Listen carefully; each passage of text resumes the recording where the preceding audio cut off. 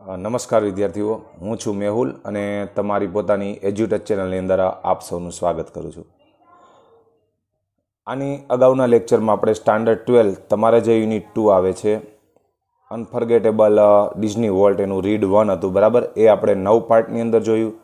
આપણે આજે ફરીથી યુનિટ ટુમાં જ તમારે રીડ ટુ આવે છે, જેનું એક પોએમ છે, જેનું નામ છે શાર્પનર શેપ્ડ શાર્પનર એટલે કુંભાર અને શેપ્ડ એટલે ઘડાઈ જવું.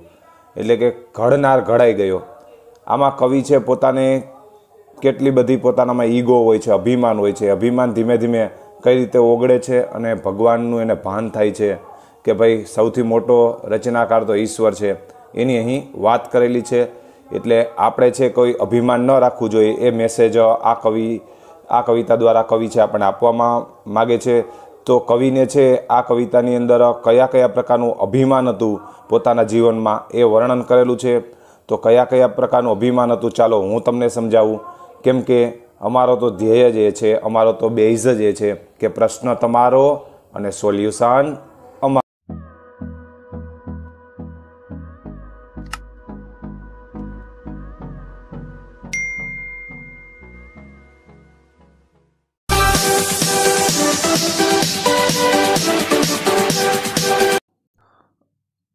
નમસ્કાર, જય હિન્દ, જય ભારત. હું છું મેહુલ અને સ્ટાન્ડર્ડ ટ્વેલ્વ માટેની તમારી પોતાની એજ્યુટચ ચેનલની અંદર હું આપ સૌનું સ્વાગત કરું છું. વિદ્યાર્થીઓ, આપણે આની આગળ આપણે જોઈ ગયા કે યુનિટ ટુ, આપ જોઈ શકો છો, આ યુનિટ ટુ હતો. કે અનફર્ગેટેબલ વોલ્ટ ડિઝની એનું રીડ વન આપણે જે છે, નવ ભાગમાં જોયું છે, નવ પાર્ટમાં. એ નવ પાર્ટ છે મારી આગળની જે વીડિયો છે, એની અંદર તમે જોઈ શકો છો. હવે આજે આપણે વિદ્યાર્થીઓ શીખવાનું છે, તમારે યુનિટ ટુની અંદર રીડ ટુ એટલે કે યુનિટ ટુમાં રીડ બે છે, આગળ આપણે રીડ વન છે, નવ પાર્ટમાં શીખ્યા છે. આજે આપણે એક રીડ ટુમાં યુનિટ ટુ રીડ ટુની અંદર પોએમ ટુ સોરી પોએમ છે સેપર સેપ્ડ સેપર એટલે કે ઘડનાર અને સેપ્ડ એટલે ઘડાવું. ઘડનાર ઘડાયો. ઘડ, આ કવિતામાં છે, ઘડનાર ખુદ ઘડાયો છે. એટલે કહેવાનો મતલબ એ છે કે આ કવિતાની અંદર જે કુંભાર છે, એક ઘડનાર છે એની વાત કરેલી છે કે તે પોતે કઈ રીતે ઘડાય છે, એનામાં અભિમાન હોય છે અને એ અભિમાન ધીમે ધીમે કઈ રીતે ઓગળે છે અને પોતે છે જીવનમાં કઈ રીતે ઘડાય છે એટલે કે નવું નવું શીખવું. જીવનમાં કંઈક આપણી ભૂલ દ્વારા નવું નવું શીખવું એને ઘડાવવું કહેવામાં આવે છે, બરાબર? સેપર એટલે કુંભાર અને સેપડ એટલે ઘડાયો, બરાબર? સેપર સેપડ એટલે કે કુંભાર ઘડાયો. એમના કવિ છે હરીન્દ્રનાથ ચટ્ટોપાધ્યાય, કે જેમણે આ કવિતા લખેલી છે. પોતે છે. બરાબર? આ કવિતામાં પોતે પોતાના અનુભવો કહે છે. ચાલો, તો આ કવિતામાં શું છે એ હું તમને શીખવું. In days gone by I used to a potter in days gone by એટલે વિદ્યાર્થી મિત્રો, કહેવાનો મતલબ ગોન બાય એટલે કે ગયેલા. ઇન ડેઝ એટલે કે દિવસોમાં. બરાબર? એટલે કે ભૂતકાળની વાત છે. ફરીથી કરું છું. In days gone by gone by એટલે કે વીતી ગયેલા. બરાબર? ગોન એટલે જવું. બરાબર? પૂર્ણકાળ છે. ઇન ગોન ડેઝ પૂર્ણ ભૂતકાળ. એટલે કે વીતેલા દિવસોમાં. ગોન એટલે ગયેલું, બરાબર? ગોન બાય એટલે ગયેલા. ઇન ડેઝ એટલે કે દિવસોમાં. એટલે કે વીતેલા દિવસોમાં. I used to be a potter વિદ્યાર્થી મિત્રો, અહીંયા જો ખાસ ધ્યાન રાખજો. યુઝડ ટુ યુઝડ ટુ એટલે કે હું ટેવાયેલો હતો. બરાબર? અથવા તો હું પોતે હતો. યુઝડ ટુ હું પોતે હતો એમ. યુઝડ ટુ એટલે કે હું એક કુંભાર હતો. યુઝડ ટુ છે, વિદ્યાર્થી મિત્રો આપણે શીખી ગયા છે ખાસ ભૂતકાળની વીતેલી વાતો માટે. જો અહીં આ ભૂતકાળમાં એક પોટર એટલે કે કુંભાર કુંભાર હતો. બરાબર? કુંભાર હતો. એટલે એ છે ભૂતકાળની વાત છે, એટલે તે યુઝડ ટુ વાપરેલું છે. ઇન ડેઝ ગોન બાય, એટલે કે વીતેલા દિવસોમાં I used to be a potter. હું એક કુંભાર હતો, હું કે જે. અહીં હું છે એ કવિએ પોટર માટે વાપરેલું છે. પોટર કોણ છે? કવિ પોતે. બરાબર? અહીં હુનો અર્થ કોણ નહીં થાય, પણ હુનું ગુજરાતી થશે કે જે. એટલે કહેવાનો મતલબ એ છે કે ઇન ડેઝ ગોન બાય, એટલે કે વીતેલા દિવસોમાં I used to be a potter. એટલે કે હું કુંભાર હતો, એટલે કે ભૂતકાળમાં હું કુંભાર હતો. કે જે? Would feel his fingers mould be, mould the yielding clay. કે જે? વુડ ફીલ એટલે કે માનતો હતો, અનુભવતો હતો. શું અનુભવતો હતો? કે તેની આંગળીઓ ઇલ્ડિંગ ક્લે ઇલ્ડિંગ ક્લે એટલે કે પોચી માટી ક્લે એટલે માટી ને ઇલ્ડિંગ એટલે પોચી. પોચી માટીઓને મોલ્ડ એટલે કે જુદા જુદા ઘાટ આપવા, જુદા જુદા ઘાટ આપતો. કુંભાર છે, વિદ્યાર્થી મિત્રો, તમને ખબર છે, પોચી માટીમાંથી ઘડા બનાવે છે, બરાબર? ઘાટ આપે છે. એટલે આખો કહેવાનો મતલબ to patterns on is wheels તેના અહીં વ્હીલ્સ એટલે પૈડું નહીં, પણ તેના ચાકડા, તેના ચાકડા ઓન એટલે પર, તેના ચાકડા ઉપર જુદી જુદી ભાતો બનાવતો. આખું ગુજરાતી કરીએ. In days gone by I used to be a potter એટલે કે જૂના દિવસોમાં અથવા તો ભૂતકાળમાં આઈ યુઝડ ટુ બી હું કુંભાર હતો કે જે, એટલે કે હું પોતે, બરાબર? વુડ ફીલ માનતો હતો કે તેની આંગળીઓ દ્વારા, એટલે કે કુંભાર પોતે કહે છે, બરાબર? તેની આંગળીઓ દ્વારા ઓન હિઝ વ્હીલ્સ એટલે કે તેના ચાકડા ઉપર ટુ પેટર્ન્સ એટલે કે જુદી જુદી ભાતના ઇલ્ડિંગ ક્લે એટલે કે માટીને, પોચી માટીને મોલ્ડ એટલે કે ઘાટ આપીને ઓન ઇઝ વ્હીલ્સ તેના ચાકડા ઉપર ટુ પેટર્ન્સ એટલે કે જુદી જુદી ભાતો બનાવતો, એટલે કે જુદા જુદા માટીના વાસણો બનાવતો. એટલે આવું એને અભિમાન હતું. But now through wisdom lately won પરંતુ આનું આખું ગુજરાતી એવું થાય છે બટ નાવ એટલે કે, પરંતુ હવે વિઝડમ લેટલી વન એટલે કે, મને વિઝડમ એટલે કે, ભાન થયું છે લેટલી એટલે કે, મોડેથી મને મોડેથી ભાન થયું છે હવે જો એને બુદ્ધિ આવી છે, એનામાં ભાન આવ્યું છે કે, મારું અભિમાન છે, ખોટું હતું અહીં. લેટલી એટલે મોડેથી બરાબર? વન એટલે જીતવું નહીં થાય, પણ મોડેથી જ્ઞાન આવ્યું છે. But now through wisdom lately won પરંતુ હવે મને મોડે મોડે ભાન આવ્યું છે કે ધેટ પ્રાઇડ હેઝ ડાયડ અવે. કે પેલું અભિમાન હેઝ ડાયડ અવે એટલે કે દૂર થઈ ગયું ડાયડ અવે એટલે મરી જવું. તે મરી ગયું છે, બરાબર? કયું અભિમાન? કે હું એક પોટર છું અને મારી આંગળીઓના જાદુથી મારા ચાકડા ઉપર જુદા જુદા માટીના વાસણોને પોચી માટી દ્વારા ઘાટ આપી શકું છું એવું એના આ પેરેગ્રાફમાં કહ્યું હતું ને, અભિમાન હતું, આ સ્ટાન્જામાં સોરી, કવિતામાં હોય એને સ્ટાન્જા કહેવામાં છે. ધેટ પ્રાઇડ હેઝ ડાયડ અવે. પેલું અભિમાન ધેટ પ્રાઇડ એટલે અભિમાન. હેસ ડાયડ હવે એટલે કે હવે દૂર થઈ ગયું છે, મરી ગયું છે. અહીં મરી ગયું નહીં કરીએ, પણ હવે દૂર થઈ ગયું છે, એવો અર્થ કર્યું I have ceased to be the potter I have એટલે કે હવે મને ceased to be the potter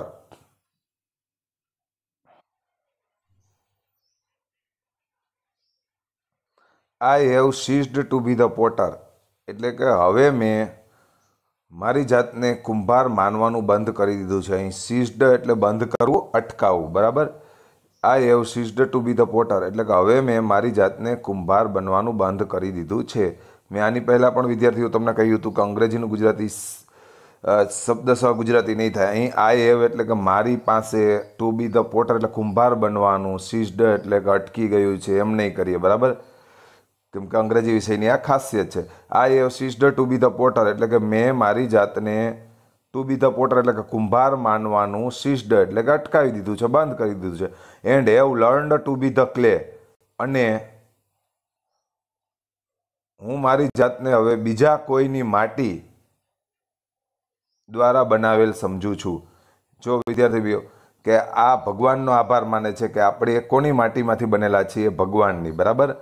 એટલે અહીં એમ કહેવા માગે છે કે I have ceased to be the potter મેં હવે, મેં કુંભાર માનવા, મારી જાતને કુંભાર માનવાનું બંધ કરી દીધું છે અને મારી, મને ખુદને, એટલે મારી જાતને પોતાને ટુ બી ક્લે એટલે કે બીજાની માટી હોવાનું હેવ લર્ન્ડ એટલે કે માનવા લાગ્યો છું. એટલે કે હું પોતે જ બીજાની એક અદ્ભુત માટી છું, એટલે કે ઈશ્વરની આપણે માટી છીએ, બરાબર? ઇન અધર ડેઝ એટલે કે ભૂતકાળમાં બરાબર? અહીંયા પણ અધર ડેઝ એટલે કે બીજા દિવસોમાં નહીં કરીએ. એટલા માટે જ મેં કહ્યું કે શબ્દશઃ ગુજરાતી થતું નથી. ઇન અધર ડેઝ એટલે કે બીજા દિવસોમાં નહીં, પરંતુ ભૂતકાળમાં I used to be a poet જો યુઝડ ટુ બી એટલે કે ટેવાયેલો હતો. એટલે કે ભૂતકાળની વાત છે અહીંયા. ભૂતકાળની જ્યારે વાત હોય યુઝડ ટુ બી માનતો હતો. એવું થશે અહીંયા ગુજરાતી. બરાબર? હું મારી જાતને એક કવિ માનતો હતો. Used to be a poet એટલે કે મારી જાતને એક કવિ માનતો હતો. થ્રુ વુઝ કે જેના દ્વારા, એટલે કે કવિતા દ્વારા. અહીં વુઝ એટલે કોના માટે વપરાયેલું છે? આ પોએટ માટે, બરાબર? થ્રુ વુઝ કે જેના દ્વારા pen innumerable songs would come કે જેના દ્વારા મારી પેન છે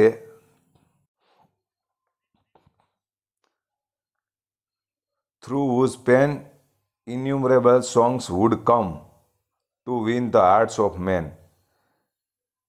Through whose કે જેની પેન દ્વારા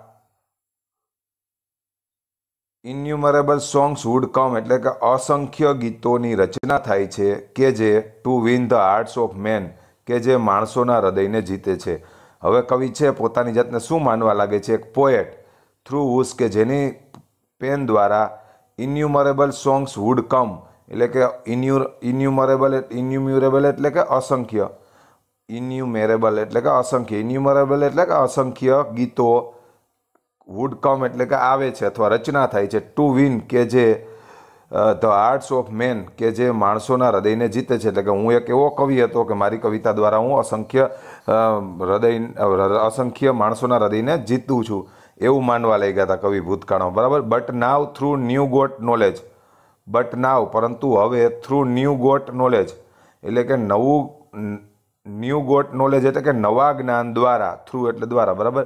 But now through new got knowledge પરંતુ હવે નવા નોલેજ નવા જ્ઞાન દ્વારા વિચ કે જે, કયું નવું જ્ઞાન છે? આઈ had not had so long જો સાંભળજો. અહીંયા બે હેડ વપરાયેલા છે. પેલું હેડ છે એ જે આપણે કાળ માટે વપરાયેલું છે, બરાબર? પૂર્ણ ભૂતકાળ. અને બીજો એડ છે, એ ની પાસે હોવાના ભાવના ભાવમાં વપરાયેલ છે કે જે હવે મારામાં રહ્યું નથી.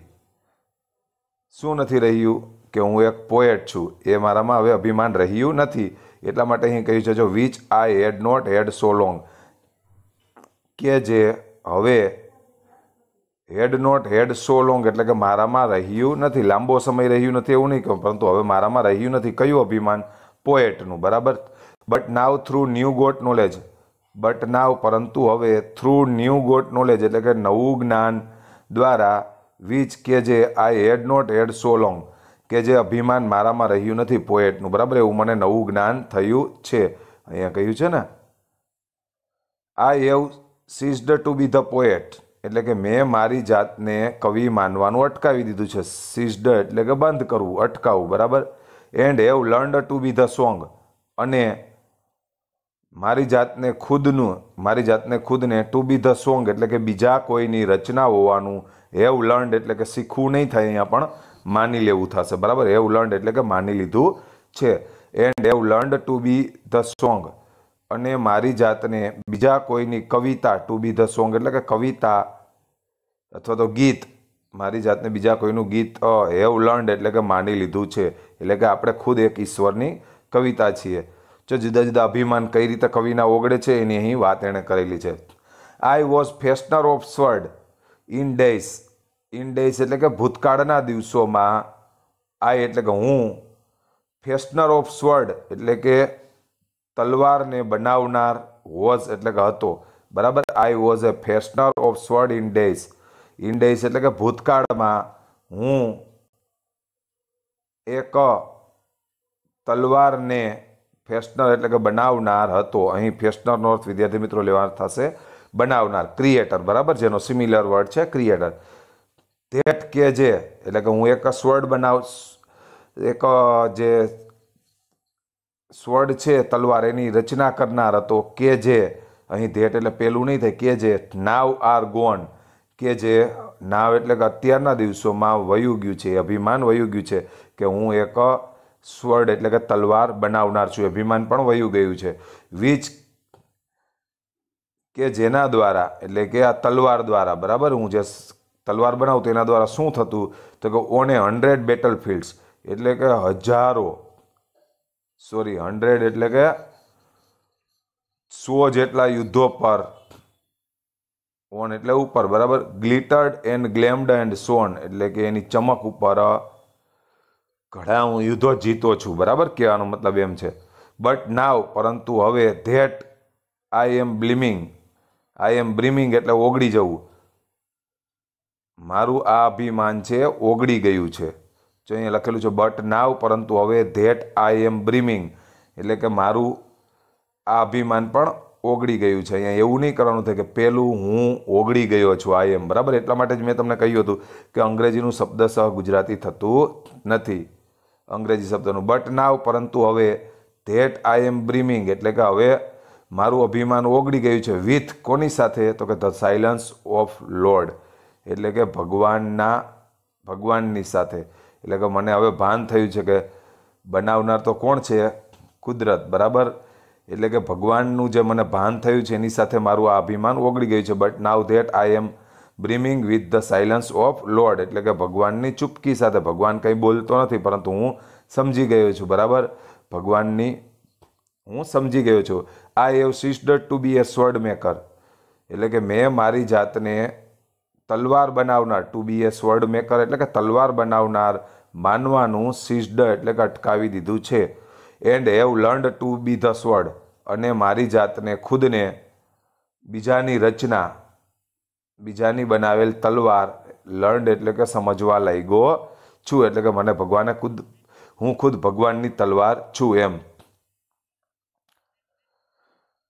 ઇન બાયગોન ટાઈમ્સ બાયગોન એટલે કે ગયેલા, બરાબર? ટાઈમ્સ એટલે કે દિવસોમાં, એટલે કે ભૂતકાળમાં. ઇન બાયગો બાયગોન ટાઈમ્સ એટલે કે ભૂતકાળના સમયમાં I used to be a dreamer એટલે કે હું મારી જાતને એક સ્વપ્નકાર અ ડ્રીમર એટલે કે સ્વપ્નકાર યુઝડ ટુ એટલે કે માનવા ટેવાયેલો હતો. યુઝડ ટુનો અર્થ થશે ટેવાયેલો હતો. કોઈ ભૂતકાળની વાત હોય ત્યારે યુઝડ ટુ વપરાય છે. યુઝડ ટુ સાથે જ વપરાતો શબ્દ છે, બરાબર? ઇન બાયગોન ટાઈમ્સ, એટલે કે ભૂતકાળના દિવસોમાં I used to be a dreamer હું મારી જાતને એક સ્વપ્નકાર ડ્રીમર એટલે સ્વપ્નકાર સમજતો હતો.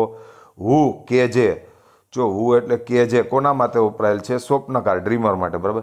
કે જે શું માનતો હતો? Who'd hurl on every side an in insolence of emerald and pearl ચાલો એનું ગુજરાતી સમજાવું.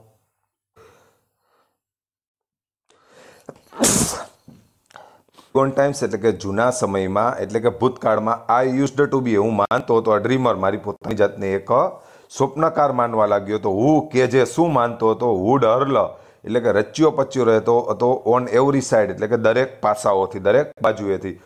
An insolence of emerald and pearl એટલે કે ઇમર્લ્ડ એટલે હીરો અને પર્લ એટલે ઝવેરાત. હીરા અને ઝવેરાત. અહીંયા ઇમર્લ્ડ એટલે થશે નીલમ. શું થશે? નીલમ અને પર્લ એટલે હીરો. નીલમ અને હીરાની જેમ.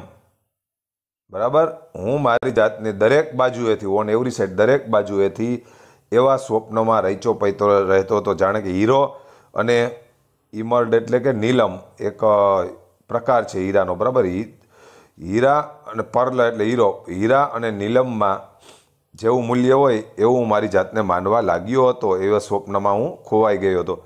બટ નાવ પરંતુ હવે ધેટ આઈ એમ નીલિંગ હું ઘૂંટણિયા પર થઈ ગયો છું.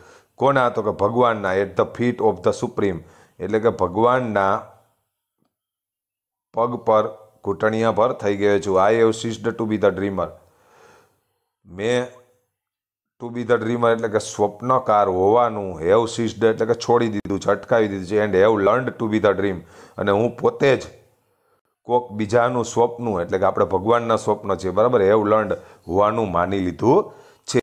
એટલે કે આ કવિતામાં આપણે જોયું, વિદ્યાર્થીઓ, કે પેલો છે લેખકને પોતે એક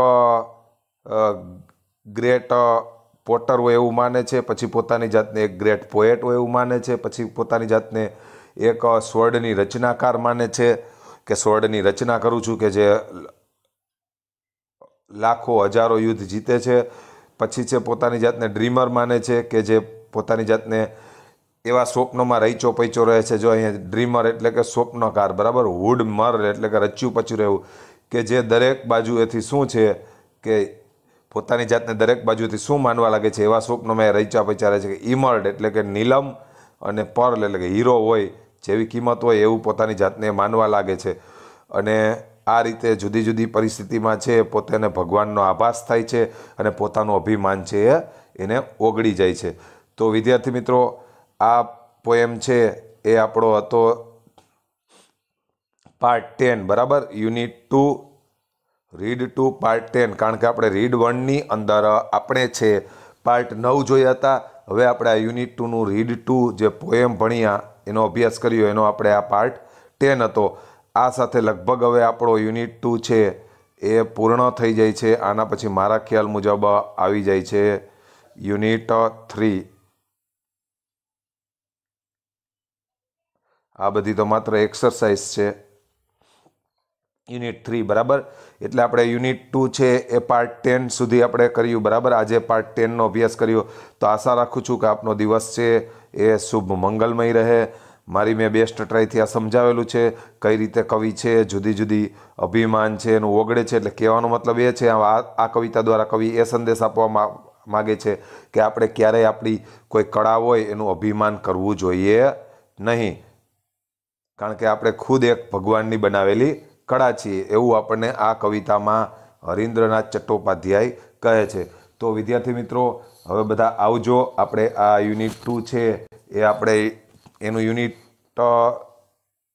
ટુનું રીડ વન નવ પાર્ટમાં હતું અને રીડ ટુ એક પાર્ટમાં. એટલે કુલ આપણે યુનિટ ટુ છે, દસ પાર્ટની અંદર આપણે અહીં પૂર્ણ કરીએ છીએ. તો આપનો દિવસ છે, શુભ મંગલમય રહે. વંદે માતરમ. જય હિન્દ, જય ભારત.